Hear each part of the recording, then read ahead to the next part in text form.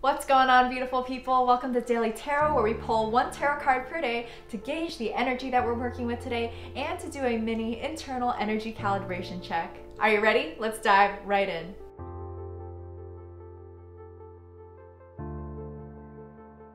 And the tarot card for Monday, January 18th is the Lovers. Ooh, I'm so excited for this card and this energy that comes with this card, you guys. So the Lovers card is all about freedom of choice and the ability to choose love, right?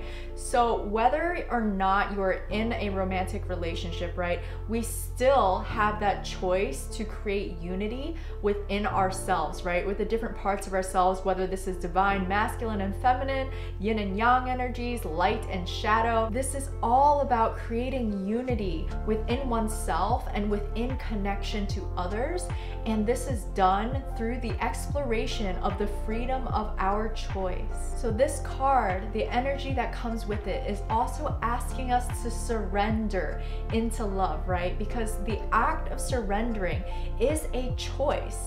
It is so much scarier, in fact, to maintain some sense of control over ourselves or our external environments, right? And a lot of the times, this desire for control comes out of fear. When we choose to surrender into our experience and really surrendering into love, or into our external experience, right? And really integrating the learnings that are coming through. This is what is going to allow us to tap into that higher learning, that higher wisdom. And this is about creating that unity and union, sacred union with your counterparts within yourself. And if you are in partnership or even with other relationships, being they platonic, familial, romantic, you can create this sacred union with the people that are important to you in your lives. And this comes from being first able to do that within ourselves, creating wholeness within the internal space and then being able to create that in our external environments as well.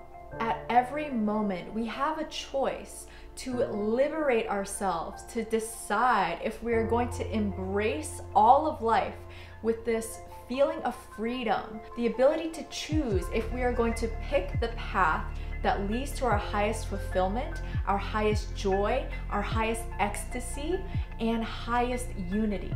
And then we allow ourselves to surrender into that and to let go of resistance. And really, for some of us, it's going to be exploring what that resistance is about, right?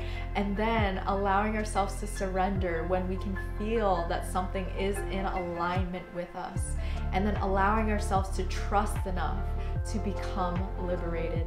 Thank you for joining me for Daily Tarot. I hope this served you well. If it resonated, don't hesitate to hit that like button, smash that subscribe, and I will see you guys all again tomorrow.